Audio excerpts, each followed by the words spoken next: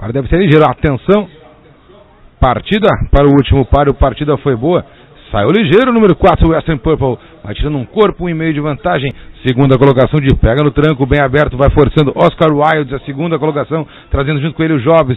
Vem por dentro em quarto, jogando Cruciatus. Na quinta colocação, vai correndo Volodymyr. Em sexto, bem aberto, vai correndo Blindado Niju mais aberto, Legend Horse, apenas 700 metros para o disco número 4 do Western Purple, o ponteiro vai sendo forçado pelo Oscar Wilde, Jobs corre em terceiro, em quarto por dentro, vai evoluindo o número 1 um de Cruciatus, bem aberto, tenta evoluir Volodymyr, apenas 550 metros para o disco e o ponteiro segue sendo o número 4 de Western Purple, ele mantém uma cabeça de vantagem para Oscar Wilde, que já bota do lado, os dois estão emparelhados por dentro, Western Purple. Por fora, Oscar Wilde, brigam os dois, o Western Purple voltou a ter vantagem, tirou paleta, apanha na caneta, Oscar Wilde tenta encurtar, na retaguarda tenta evoluir bem aberto, o Jobs na ponta ainda lá por dentro, o Western Purple tem vantagem de um corpo, insiste por fora Oscar Wilde e ganha terreno bem aberto, o Jobs e mais aberto número 7, blindado do Niju, lá vem o Jobs ligeiro e lá por dentro Caderro, Caderro ganha terreno, vai forçando, em segundo bem aberto, vai forçando. Jobs, cruzam a faixa final, vitória para Caderro, segunda colocação,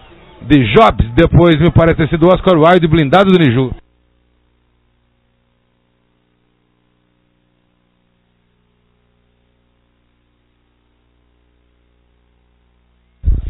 E venceu Jobs, número 5, com Luiz Gustavo Nobre.